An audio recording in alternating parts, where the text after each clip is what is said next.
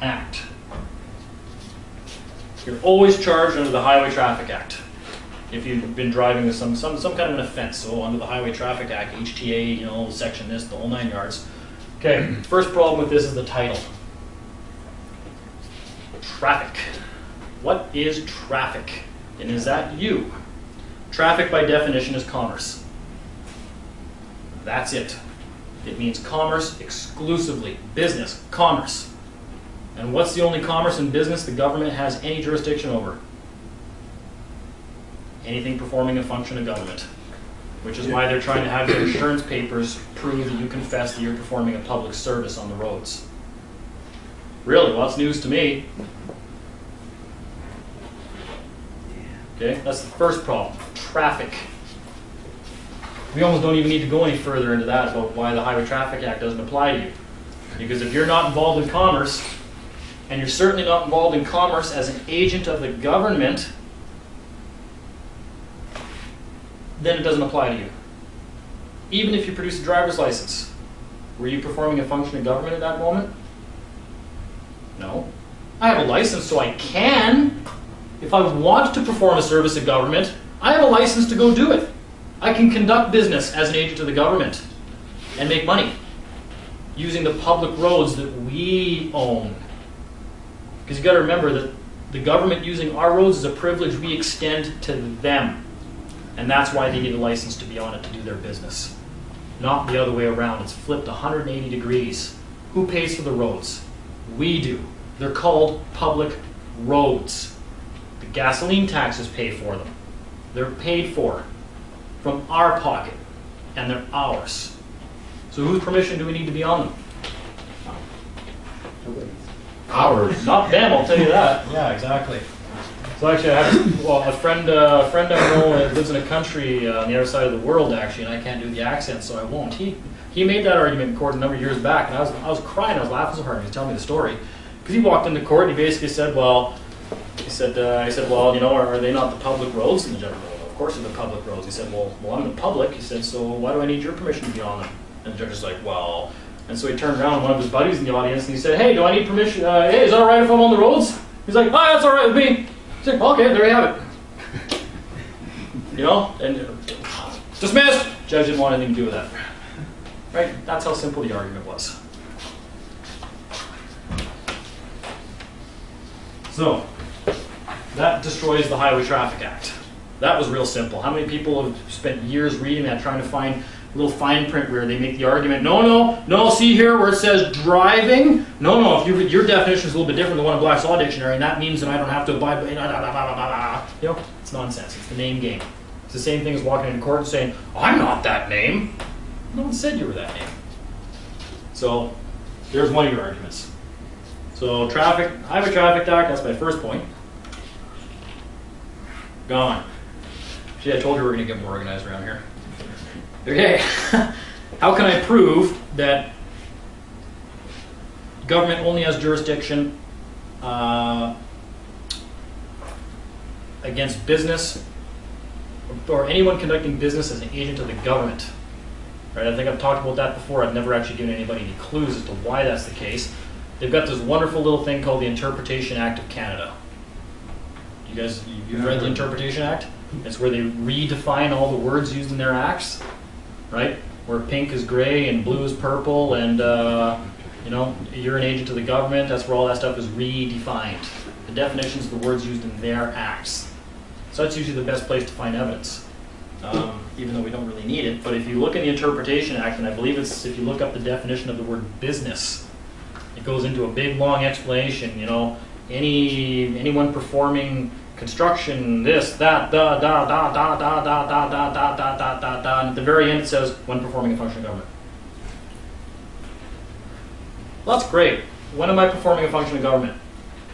That's the only business that the government has jurisdiction over is business that's theirs, their business. Doesn't that make sense? Yeah.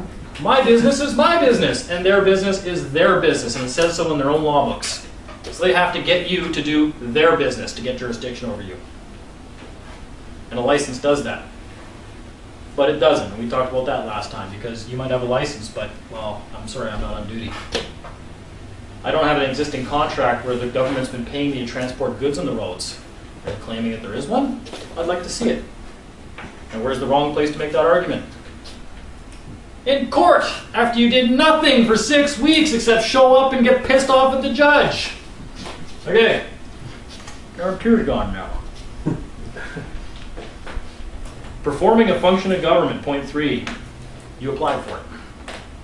The document has got your signature on the driver's license. You even did a little competency test. You went out, yeah, okay, you can turn left three times, here's your license.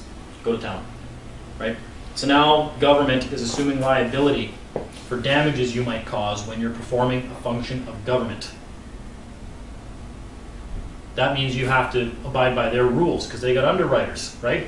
Well, if you're going to be acting as an agent for us when you're using the roads, we want to make sure you're being a little safe out there because if you cause damages, we got to pay for all that. So you got to abide by all these highway traffic act regulations. Oh, okay. And you apply for it. Point three gone. Okay. So who is the government agent? You know what? I'm going to skip that one for now. Because I want to draw the triangle again. It's, it's something's going to click for you guys. Um, so how to start driving and potentially be unmolested by agencies of government. Um, give notice. Give notice, give notice, give notice. Give notice to the agency of government that's most likely to be responsible for whatever should befall you when you get on the highways and one of their agents accosts you. Good place to start is the Attorney General, right? They love me. Should you put the notice on your vehicle? Could you just say one Absolutely, thing? Is- but that's not a good place to start. You Okay. don't want to give notice when you're at the side of the road and you've been pulled over. That's like giving notice when you show up in court, because that's what it is when you're pulled over at the side of the road. The minute they initiate contact, you're now holding court. That is administrative process, Okay. okay? Um, the plate that I use, and I think I've shown it before, and I'll grab it here again in a second, um, is evidence of a fee schedule that's in place. That's where I want them to know who that is in that in that car, that truck, that vehicle, driving. I'll use all their words. I'm driving a vehicle on the roads. There's no jurisdiction there. Um, so you contact the government in advance, right? You say, hey, I'm going to be accessing the public roads, which which is my right. If you're claiming I don't have the right to access the public roads without permission from you, I'm going to give you 10 days to provide me with some evidence and facts that I don't have that right. Right? You won't hear back, especially if you send it registered mail. So you default them. And included in that notice, you might want to put a fee schedule in there. It says, by the way, in the event you don't respond, which you're not going to, I'm going to put this fee schedule in here, and I'm going to put a fee on everything that you do to me when your agents harass me on the road.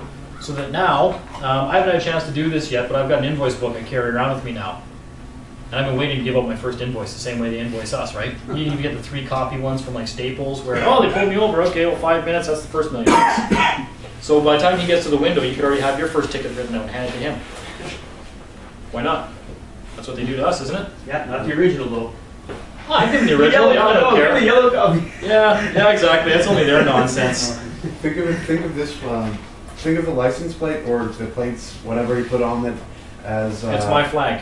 Exactly, like in It's maritime my law. flag it on my tells- vessel, it's the private flag tells you property. Exactly whose law is supreme on that vessel. Yeah, and that's mine. I'm sovereign in my own property. In fact, for the time being, I'm existing in that property, which is mine. Hand him a copy of the Petty Trespass Act. You're trespassing on my property the minute you touch it. When I'm not in a car and I'm walking around the sidewalk, this is my property. That's trespass to the body.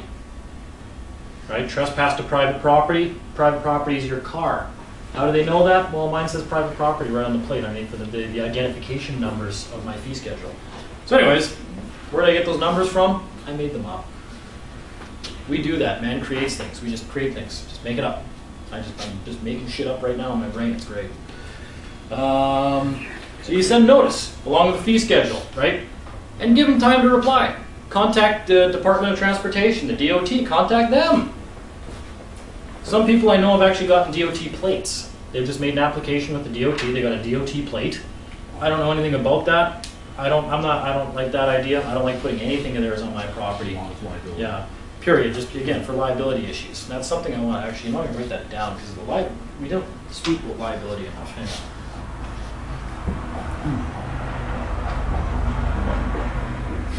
So you've sent notice to the government, you're gonna be accessing the public roads as you have every right to do in your private property that has no liens against it because you bought it cash. You own all the equity. When you own the equity, you are king. You're sovereign of what you own the equity over. That's why I don't, would not do a lease. It's in the lease agreement, you have to insure it with, the- through, uh, public insurance. It's uh, right in the lease agreement. You're already This is just a violating Fancy long-term rental Yeah. agreement. Yeah, yeah, so you're already violating your lease the minute you, you try to drive around with no private plate on it. Um, so they don't reply. After 10 days, you want to give 10 days. I mean, uh, nine days is good too. What is it? Uh, three days for them to get it, three days for them to reply, and then three days for it to be sent back to you in a day of grace. 10 days is a pretty standard amount of time in commerce.